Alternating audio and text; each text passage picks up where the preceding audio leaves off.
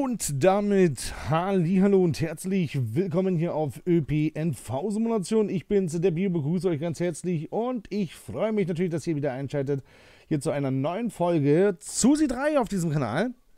Ähm. Nur schnell nochmal den Ton dazu schalten. So, wir sind heute wieder unterwegs und zwar auf der Strecke München Hauptbahnhof nach Lübeck Hauptbahnhof. Das Ganze beginnt in Celle und endet, lasst mich lügen, in Uelzen. Das ist heute, wie gesagt, unser Fahrplan, den wir hier haben. Aber natürlich nehme ich all euer Feedback hier mit, all eure Fragen und Kommentare. Und deshalb, ja, werde ich es mal probieren, heute was äh, neu dazu zu schalten. Und zwar haben wir einmal, aha, unser Fahrgastinformation, unsere FIS. Und wir haben heute mal, ihr seht's, zack, ähm, unser, sag schon, und zwar unser Buchfahrplan, unser elektrischer. Das wollen wir jetzt dementsprechend beides natürlich benutzen. Wir sind heute mit dem TFZ 402 unterwegs, so steht es hier drin, 451 Tonnen, Maximalgeschwindigkeit 280 km/h.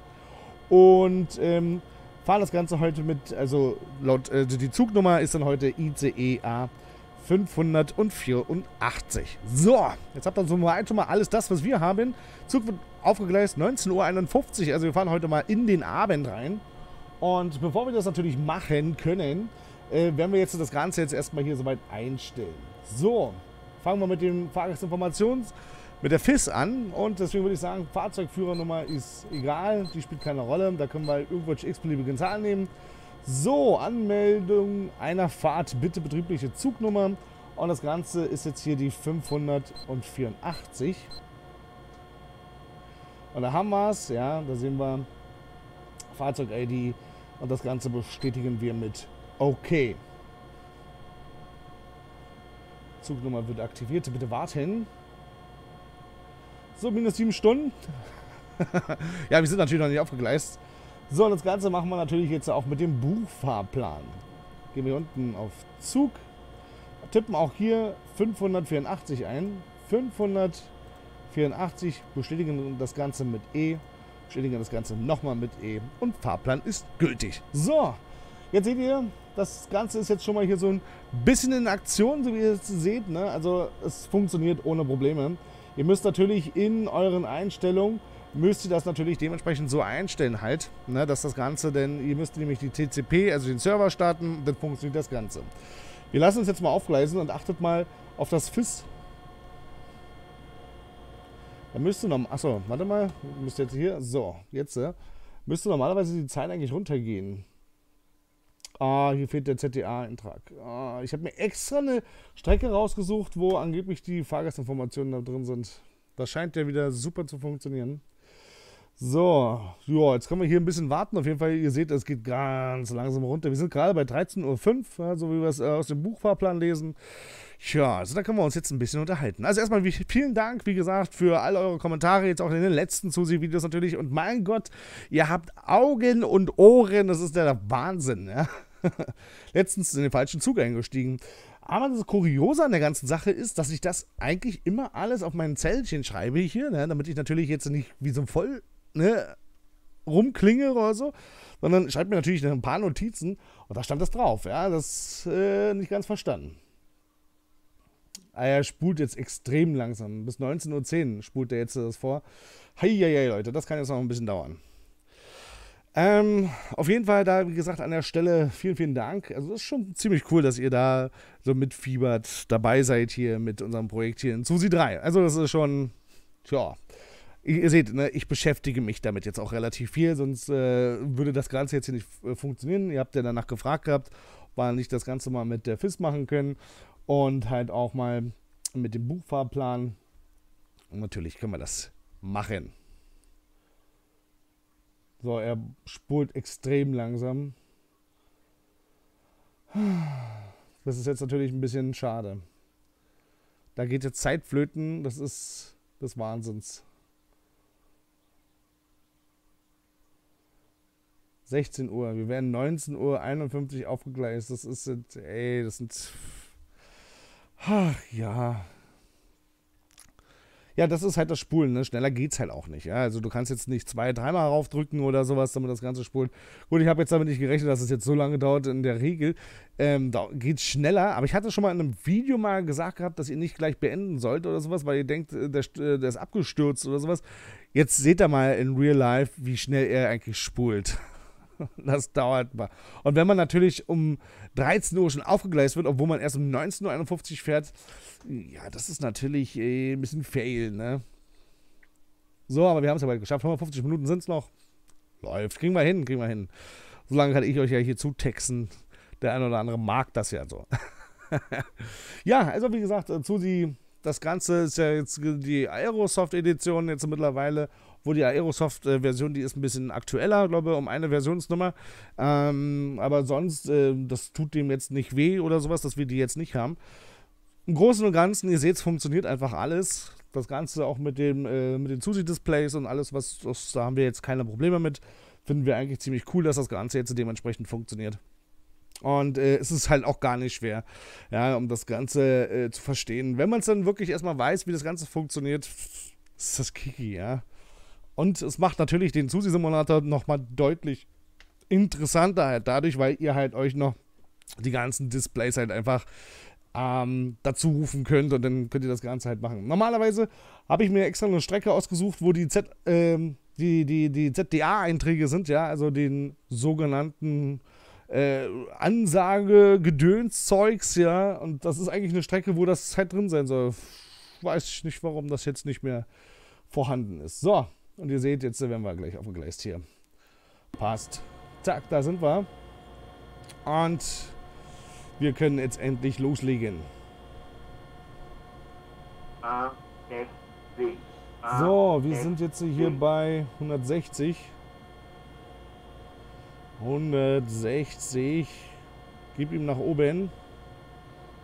Und So.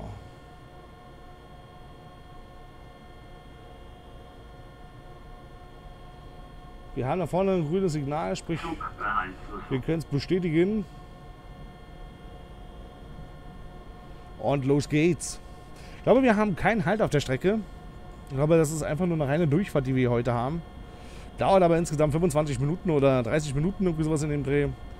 Also da ist schon ein bisschen was zu tun. Ihr seht es ja auch in der Essigzelle. Ihr seht da auch, da die Verspätung, ja, falls wir Verspätung haben sollten. Jetzt ist natürlich die Frage, ähm, wie wollen wir das machen? Wollen wir das hier irgendwie einfach so hinhängen oder sowas? Oder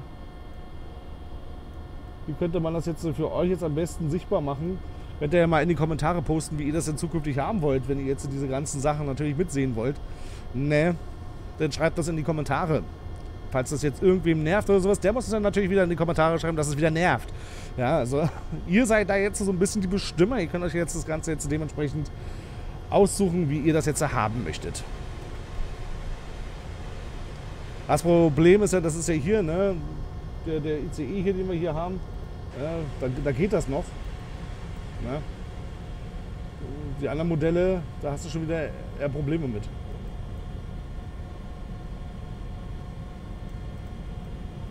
Ja, also.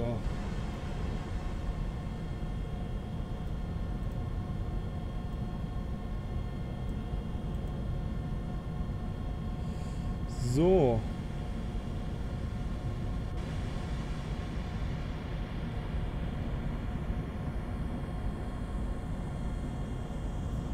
Also damit das hier natürlich hier. So. Ich brauche trotzdem äh, den Buchfahrplan, damit ich immer gucken kann. Mal rüberlinsen, ob hier alles richtig ist. 150. Na gut.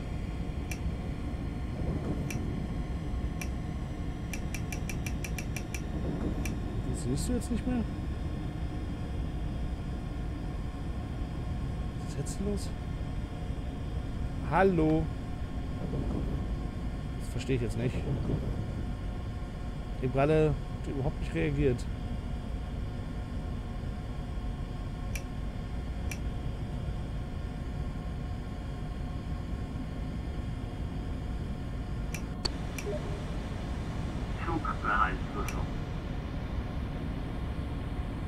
So. Das ist jetzt hier 120, das müsste 120 sein, ne? So, grünes Signal. Ah, ja, hier ist schon ein bisschen mehr Verkehr auf jeden Fall.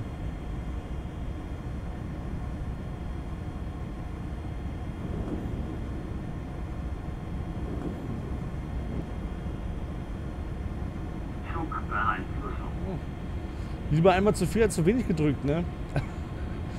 ja. Man kann ja nie wissen. So, ab hier ist wieder 150. Müssen wir warten, natürlich, bis wir drüber sind.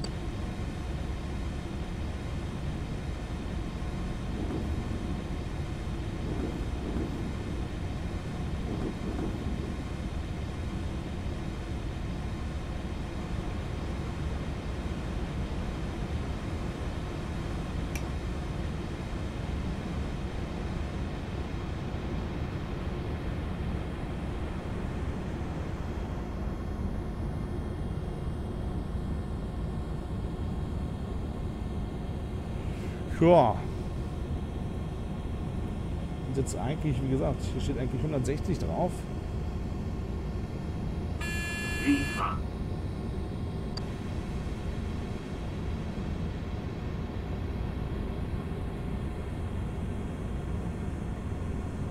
So, damit springt die LZB an.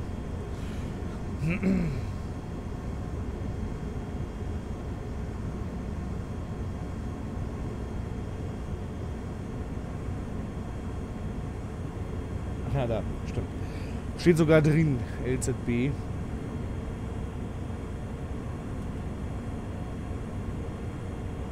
Seht ihr jetzt auch in letzter Zeit relativ viele Susi-Videos hier.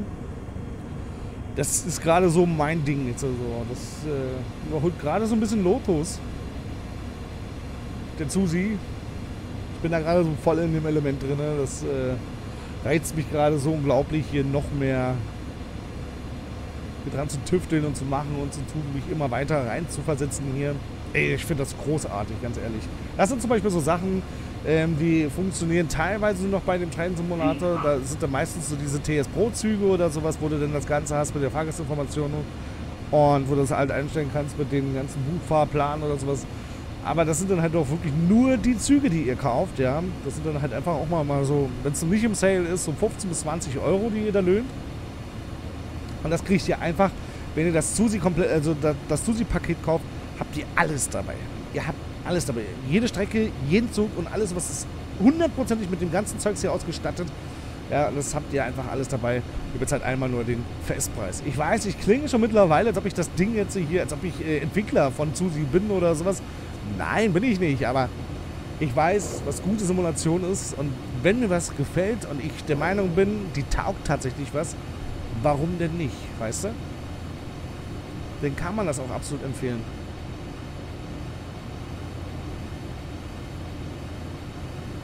Dann kann man das doch nur einfach empfehlen.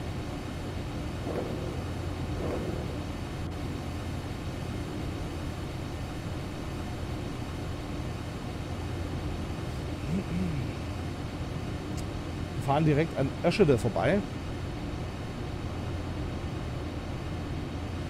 Es kam wohl auch die Frage, ob es auch längere Aufträge gibt, also längere Fahrten, als wie jetzt immer nur diese 20, 25 Minuten. Und ich kann euch beruhigen, ja, gibt es. Ja, da dauert hier schon mal eine Fahrt anderthalb bis zwei Stunden. Ja.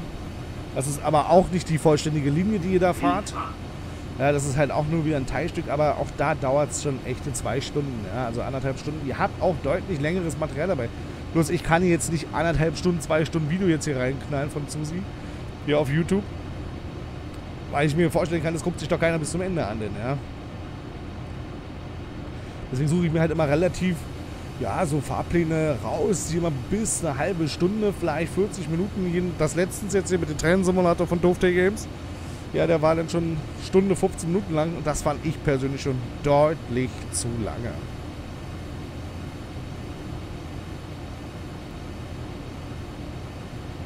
Zumal du da einfach nichts zu tun hattest. Du hattest da keine SIFA, du hattest keine PZB, du hattest da einfach nichts. Das war wieder so eine richtig, richtig langweilige Aufgabe. Und dann hängst du da eine Stunde, 15 Minuten dran. Das ist Ach, das, sowas tut weh denn, ja, sowas tut einfach weh. Du willst ja schon mehr machen, weißt du, und dann hindert dich das aber. Und das ist, das ist halt der Punkt, wo ich wirklich sage, dass ich Susi öfter starte mittlerweile als den Train-Simulator, weil hier, hier habe ich einfach immer alles, ja. Wenn ich jetzt eine, eine Hardcore-Fahrt fahren möchte, dann, ja, habe ich sie hier. Ne?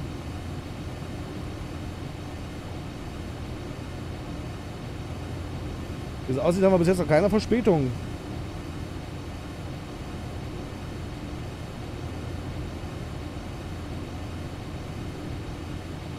Schaut doch schon mal ganz gut aus. Ja.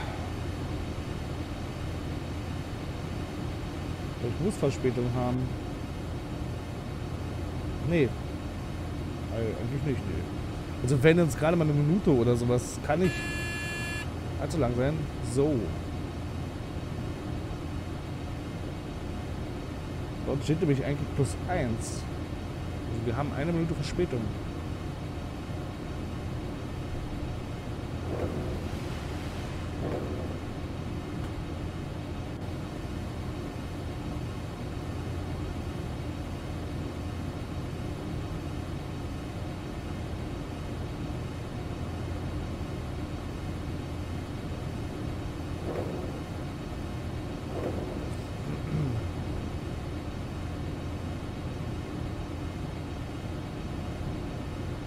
Gerade Eschede, wo wir dran vorbeigefahren sind.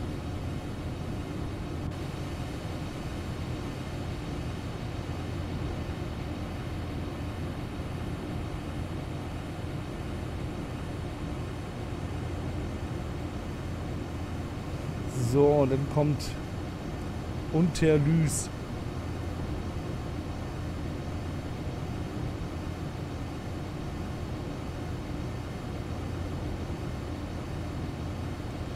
Entweder haben wir da Ende. Normalerweise, wenn noch ein Ende ist, müsste das doch angezeigt werden, oder? Also sieht das eher nach einem roten Signal aus. Wenn die EZB endet, müsste doch da unten irgendwo diese Lampe angehen, hier unten, ne? EZB Ende. Oder hier Ende, da, da ist sie, Ende. Die müsste doch dann blinken, oder? Wenn die EZB zu Ende ist. Ah ja, guck mal da. Zack, umgesprungen. Weiter geht's.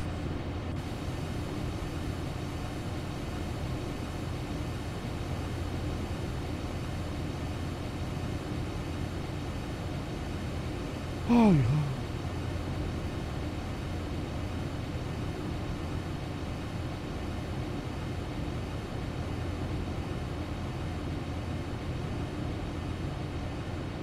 Also wirklich jetzt die letzten Tage nur zu sie.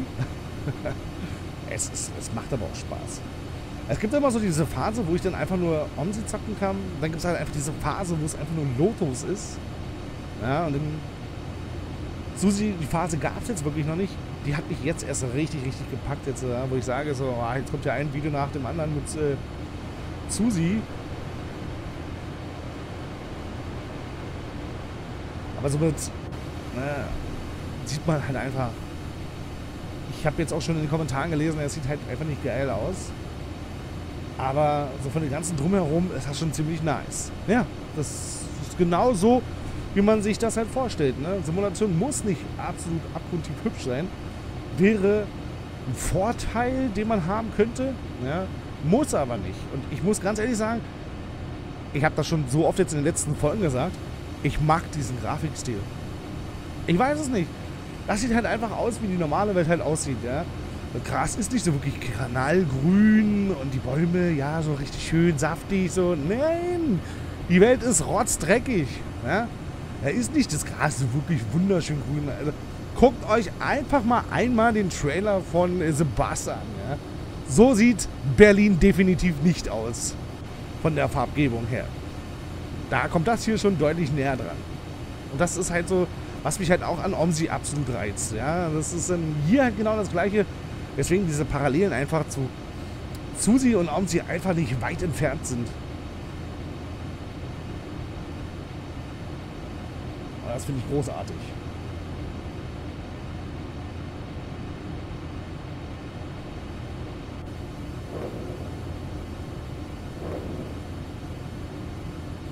So, Unterlüß.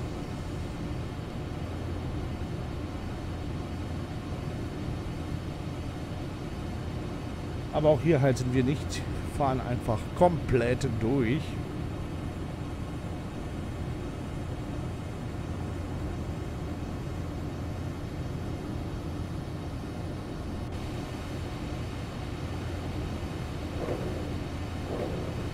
Wir mal gucken, ob wir irgendwie mal so eine S-Bahn-Aufgabe finden oder sowas. Oder die Ansagen mal funktionieren. Auf jeden Fall werden wir das jetzt, äh, denke mal, in der nächsten Zeit jetzt äh, halt oder zuschalten, wenn ihr das wollt, dann halt, ja. Also die FIS und äh, den Buchfahrplan, na, wenn ihr das möchtet. Denn, wie gesagt, nutzt da die Kommentarfunktion, schreibt das unten rein. Oder wollt ihr das eher nicht sehen, weil ihr doch denkt, das nimmt doch ein bisschen viel Platz weg.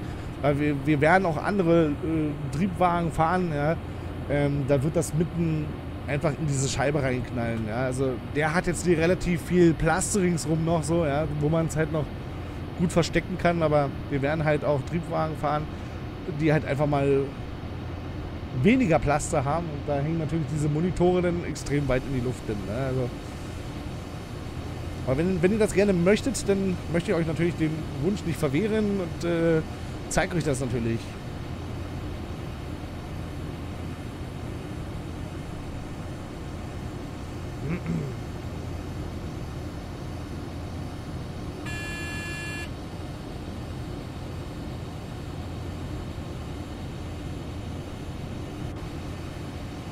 Gut, was haben wir denn? Was haben wir denn?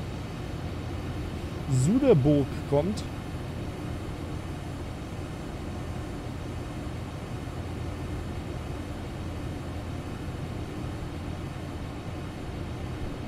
Aber auch hier keine LZB-Ende, wir müssen nichts beachten.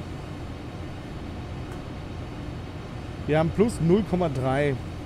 Das ist doch schon mal, hört sich doch gar nicht so verkehrt an.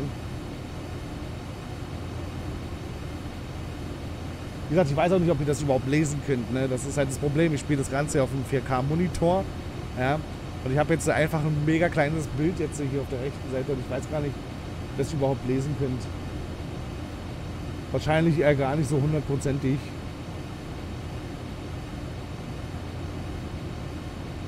Wahrscheinlich müsste das noch größer sein.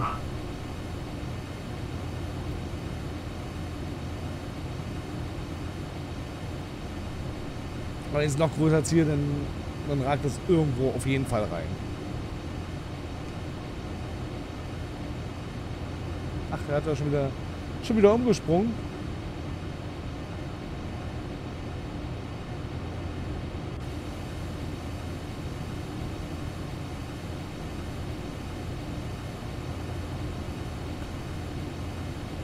Siefer bestätigen.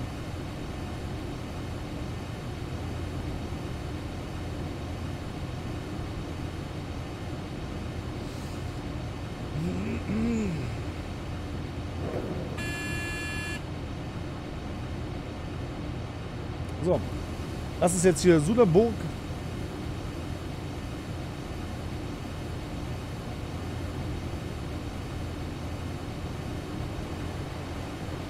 Auch hier ziehen wir vollends vorbei.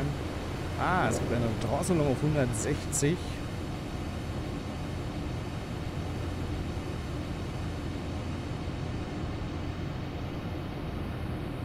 Oh, wir haben Verfrühung. Was ist denn da los? Minus 0,3. Wunderschön. Aber ich mache auch nichts. Ne? Der fährt ja alleine. Ist nicht schwer dann. Ist nicht schwer dann.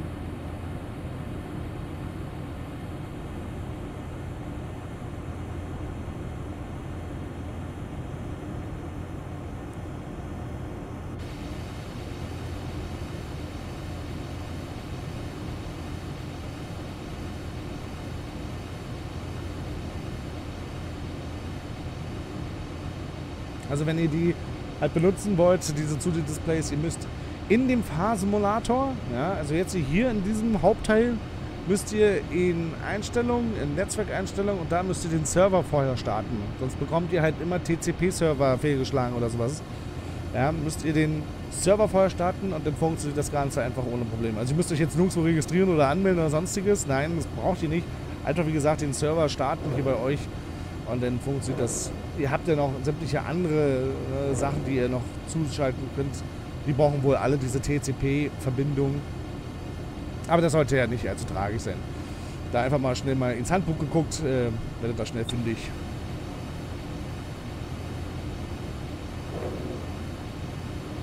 Also für mich ist Susi 3 absolut unter den Top 3. Train Simulator ist raus aus meinen Top 3. Also wenn, ja, dann wird es wahrscheinlich sowieso nur, nur noch Susi erstmal. Bis mich mal wieder so eine Strecke wieder umhaut. So, jetzt ist der G-Melder angegangen hier. Seht ihr eine Geschwindigkeit?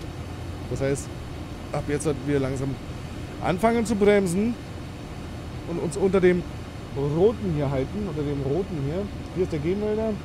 Unter dem roten sollten wir jetzt bleiben, damit wir keine Zwangsbremse kassieren. Auf 160. Aber dadurch macht er die LCP alles alleine. Und ich sehe auch, wir nähern uns Fahrtende. Leute, das war schon wieder. Das war schon wieder eine Folge zu sie. Des Wahnsinns. So, was kommt jetzt? 130. Muss ich immer noch nicht bestätigen.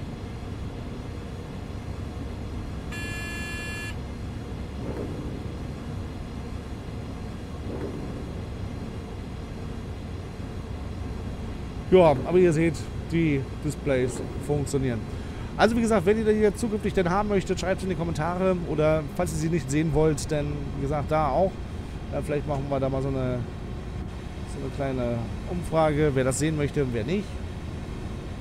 Da würde ich mich natürlich dann sehr darüber freuen. So, und ab jetzt kommt die Null. Denn da ist nämlich dann schon wieder Fahrtende. So, das ist Uelzen, an dem wir jetzt hier vorbeifahren.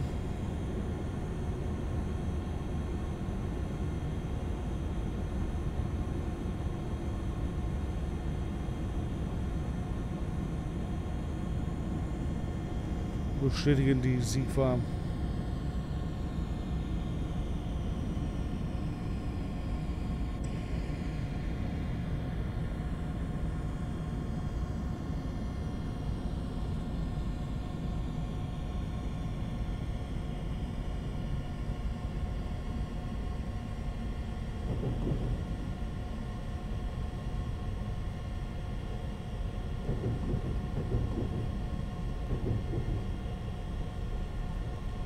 Und dann haben wir es für heute. Wenn euch die Folge gefallen hat, Leute, Daumen nach oben da lassen, damit ich sehe, dass ihr mehr sehen wollt hier von Susi 3. Schreibt es in die Kommentare. Und sonst, ja, freue ich mich natürlich über jeden Kommentar von euch. Ja, ich lese mir wirklich alles hundertprozentig durch. Ich antworte nicht, aber ich lese mir trotzdem alles durch, was ihr so schreibt. So ein schönes, nettes. Und ähm, freue mich natürlich immer, wenn ihr schreibt immer mehr, mehr, mehr, wir wollen mehr, mehr zu sie oder mehr um sie oder mehr Lotus oder sowas, ja, freue ich mich da halt tierigst drüber. Bedanke mich natürlich, dass ihr alle dabei wart, wieder zu einer äh, doch heute etwas längeren Folge, halbe Stunde fast, läuft. Warten jetzt nur noch auf unsere Auswertung. Und dann, ja, schauen wir mal. Wie ihr seht, ich muss einfach nichts machen. Das ist so schön mit der LZP. Wir fahren wie ein Profi. Shoot. So, wir haben zwei Minuten Verfrühung sogar. Naja, da kann mir, kann mir doch jetzt keiner einen Strick draus ziehen. Heute. So, ja, halt doch an jetzt. Ich will meine Auswertung bekommen. Es kommt keine Auswertung.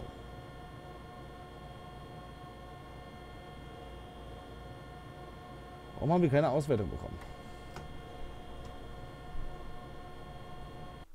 Jetzt ist die Auswertung. Uh, ja, ja, war ja wohl nicht schwer, ne, muss man ja ganz ehrlich sagen. Also wir haben null Unfälle, null Haltersignale, null Zwangsbremsung.